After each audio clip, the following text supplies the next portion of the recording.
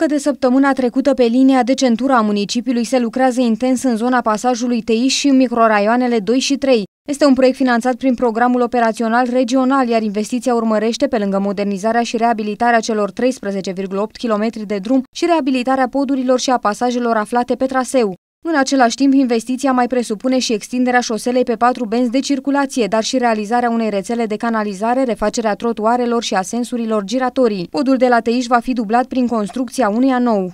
Inelul de centru al municipiului Târgoviște este până acum cel mai important proiect de dezvoltare al infrastructurii în municipiul nostru. Este un proiect finanțat de Uniunea Europeană, Guvernul României, cu o contribuție de doar 2% din partea comunității locale, atât primăria municipiului Târgoviște, cât și uh, primăria comunei Răzvat. Pentru că o porțiune din această lucrare, respectiv uh, uh strada Cărămidar, aparține și de uh, comuna Răzvat.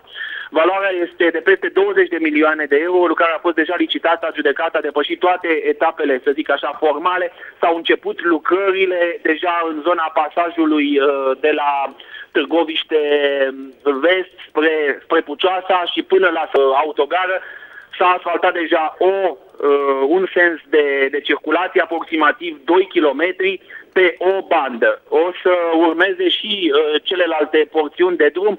Lucrarea se execută în condiții de calitate. Este doar primul strat și aș vrea să specific acest lucru pentru că lucrarea finală va avea două straturi de asfalt. Au fost uh, puse toate uh, ingredientele și lucrarea se execută în condiții de calitate maximă.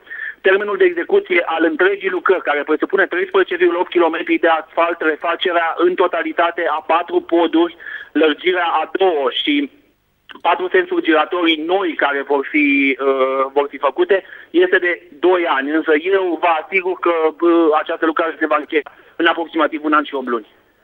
Se circulă destul de bine, ne-au spus șoferii care tranzitează această zonă. Au început lucrările la linia de centură aici a municipiului Târgoviște. Cum vi se par lucrările? Foarte bune, dar uh, cred că mai durează încă o lună de zile, că văd că nu termină pe margini. Tranzitați des această zonă? Da. Am o lucrare mai sus, la, pe alea mănăstirii. Și e mai ok acum decât înainte? Da, fără nicio problemă. Se circulă destul de bine deocamdată. N-am stat, n-am prins coloană deloc. Tranzitați des această zonă? Zilnic. E, e bine, e bine. Dacă face cum a făcut pe aici, e bine. E bine. Să vă trăiască ăsta, cum îl cheamă, primarul.